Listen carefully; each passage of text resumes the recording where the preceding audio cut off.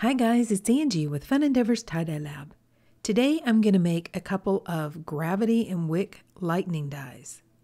I think that the gravity dyes are cool and I think that the wick dyes are cool, so I decided to combine them together on these two shirts. I'm starting by using a washable marker and drawing a lightning type design across the shirt. I'm going diagonally from one shoulder to the opposite hem of the shirt. Now I'm going to fan fold this line and I'm going to tie it with some sinew. I'm using sinew because it's wax coated and so whenever I tie this line with sinew and I pull it really tight, it's going to give a definition line. This fold is going to be pretty wide and so I can't guarantee I'm going to get a white line where I tie the sinew line, but it will give a definition line so it'll look different than the rest of the shirt.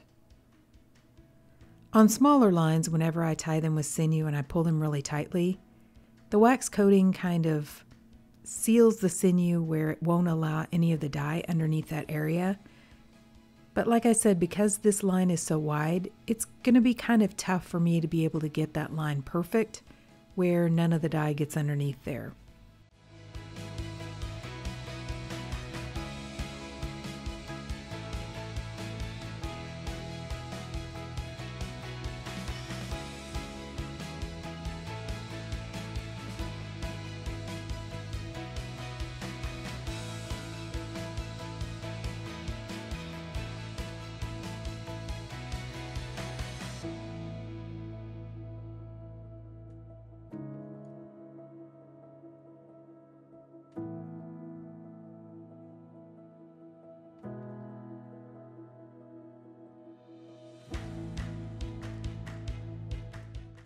I'm going to wrap the sinew around the shirt and I'm going to place my hand on top of this fold and I'm going to press down as I'm pulling the sinew tight. That's going to help to keep my folds flat and not buckle. What happens when you have a line that's as long as this one is the minute I start to pull on that sinew, it immediately is going to buckle all of those folds that I just made in the shirt and either cause like a gap down underneath the sinew on the bottom part or cause a gap on the top or just cause everything to kind of fold in on itself almost like you would a taco. If I wanted to have a really tight sinew line, I would just go with that fold and I would pull it really tight and let it kind of fold or taco in on itself because I would probably get a really good white line that way. Like I said, I don't mind if some of the dye gets underneath. I just want some kind of a definition line for this lightning bolt. I'm going to fold and tie the second shirt the same exact way.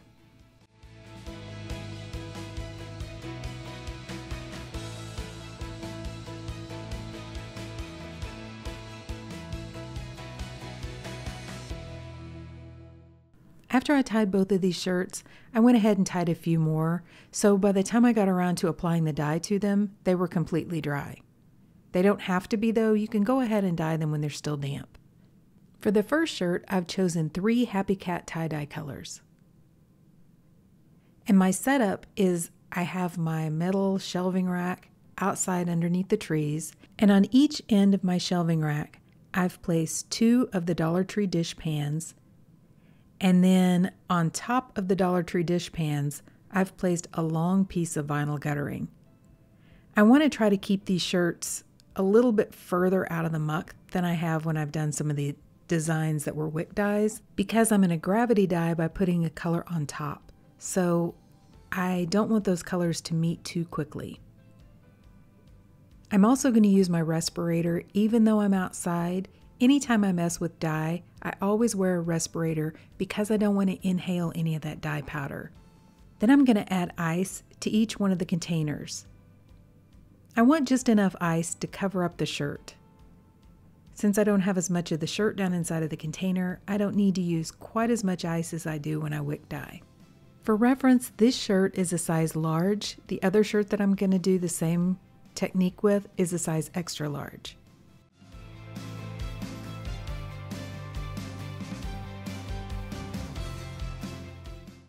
Okay, so over the top of the ice in this first container, I'm going to use Strawberry Skies. Like I said, all three of these dye colors are Happy Cat tie-dye colors. I have a link down below in the description for this video to Happy Cat Tie Dye's website. Amanda is the owner of Happy Cat Tie Dye, and she mixes all of her colors so that they are great color splitting colors. I don't own all the colors that she sells, but the ones that I do are gorgeous.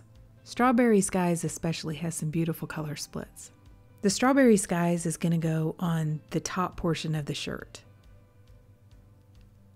On the lower corner of the shirt, I'm using Noble Purple. And I'm not adding a whole lot of dye to these containers because, like I said, I don't have a whole lot of the shirt down inside of these containers. So that was the wick dye portion of this shirt. The intended purpose is for the ice to melt and the dye to get wicked up through the shirt. Now I'm going to do the gravity dyed portion of the shirt and I'm going to add Ice Storm right over the top of the sinew line.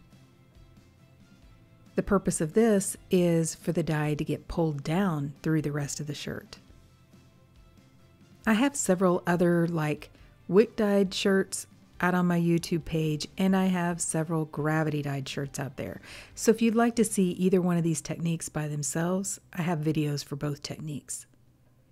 Now I'm going to sprinkle a little bit of additional soda ash over the top of all the dye and add a couple pretty large ice cubes on top of the gravity dyed portion. I've included a couple of photos from each angle so that you can see what the shirt looked like with the ice on top. For the second shirt, I decided to use a little bit darker color palette. So I am going to use a couple of Pro Chemical colors and a Dharma Trading Company color. I have the same setup on the other end of my metal shelving unit. This is a really long piece of guttering, so I'm using the same piece of guttering for both of the shirts. I have a few photos after I dye this one, which will kind of show you my setup a little bit better. I've placed the shirt with the sinew line in the middle of the guttering, and I'm adding ice to each of the containers again. This shirt is a little bit larger, so I'm going to add just a little bit more ice because I have a little bit of extra fabric hanging over into each container. I'm starting by adding Dances with Raisins from Dharma in one container, and I'm adding Stormy Sky from Pro Chemical and Dye in the other. Then on my sinew line for the gravity dye portion, I'm going to use Spicy Plum from Pro Chemical and Dye. I'm sprinkling a little bit of additional soda ash over the top as well, and then going to add the ice onto the gravity dye portion. I've added photos of what this one looks like from both angles as well.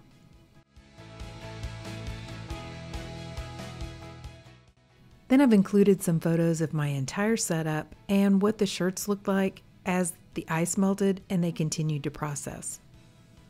I left them outside for about two days to allow all the ice to melt and allow them to process. After all the ice melted, I came back and added a couple more ice cubes to the top of the gravity dye portion on both of the shirts. And about twice a day, I would come out and spray them with some soda ash solution that I had inside of a spray bottle to make sure they didn't dry out. To make it easier on myself, I've been referring to these shirts as the blue shirt and the red shirt. The blue shirt is the very first one that I applied the dye to, and the red shirt is the second one that I applied the dye to. I started by rinsing the blue shirt first, and I took both of the containers into my utility sink, dumped out the muck, which all muck is, is the runoff from the melting ice and dye, and then I started rinsing the shirt in cold water to rinse out the soda ash. I find all kinds of extra little tidbits of things inside of my containers once I've ice dyed underneath the trees. The squirrels and the birds like to knock all kinds of stuff off into the containers. After rinsing in cold water for a while, I untie the shirt and then I warm the water up to hot and continue rinsing in hot water to rinse out the excess dye that didn't bond with the fabric. Instead of continuing to rinse for a long time, I'm going to go ahead and run some really hot water in the other side of my utility sink, put a little bit of Blue Dawn dish detergent in the water, and just put this shirt in and allow it to soak. When the water cools off, I'll change it out and I'll continue that soaking process until the water is remaining almost clear. Then I'm going to put the shirt along with some Dharma's professional textile detergent into my washing machine and wash it using a hot water cycle. I'm going to rinse the red shirt the same exact way that I did the blue one. And once the water is remaining almost clear after the soaking process, I'll go ahead and put them both in the washing machine at the same time.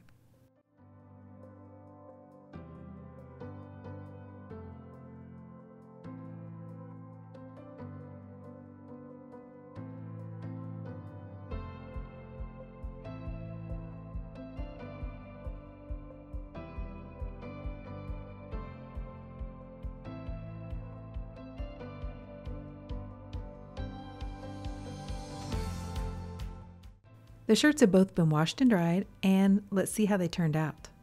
Here's the first shirt, the one that I'm referring to as the blue shirt, and I think it looks really cool. Remember, the strawberry skies is up on the shoulder or the sleeve of the shirt, and the noble purple is what's down in the corner of the shirt. The ice storm is the lightning bolt part.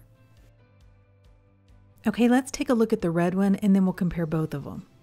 On this one, the Dances with Raisins is in the lower corner.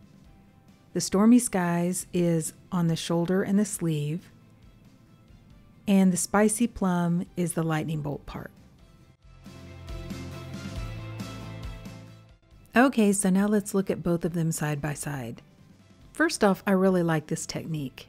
I like the wick dyes and I like the gravity dyes, so putting them together I thought would be kind of fun and interesting. I don't see as much wicking from the dye as I do when I just do a straight wick dye. And I pretty much know the reason for that. In general, the dye likes to go where it's dry. And since I was doing a gravity dye at the same time, the fabric was not totally dry.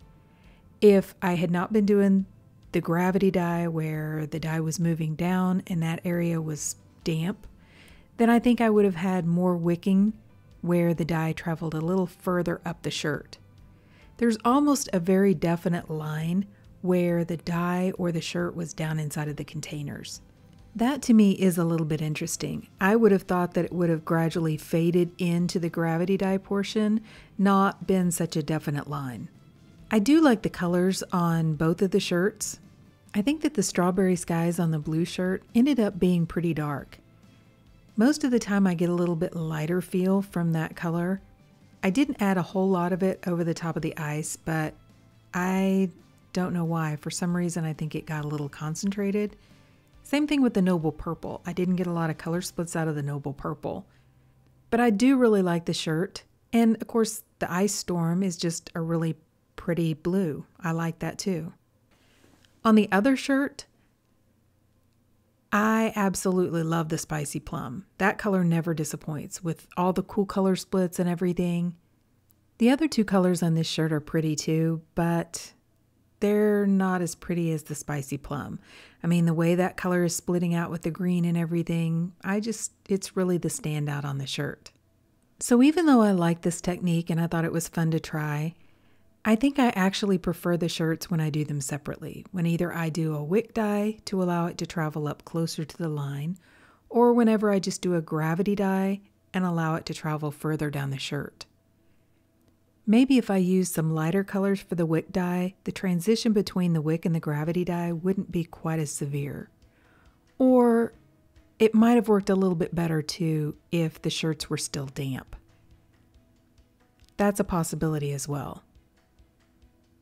I don't know. So, what do you guys think about them? Do you like these two techniques combined together, or you're kind of like me, where you like each of them individually, but not necessarily your favorite to put them together?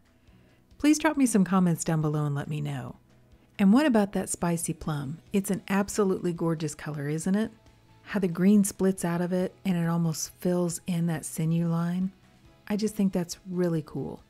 So if you guys have enjoyed watching the video and watching me kind of experiment with this technique a little bit, or putting the techniques together, I sure would appreciate it if you would like the video and if you'd subscribe to my YouTube channel. If you'll hit the bell, you'll receive a notification whenever I upload a new video. Thank you all for watching and I hope you have a great day.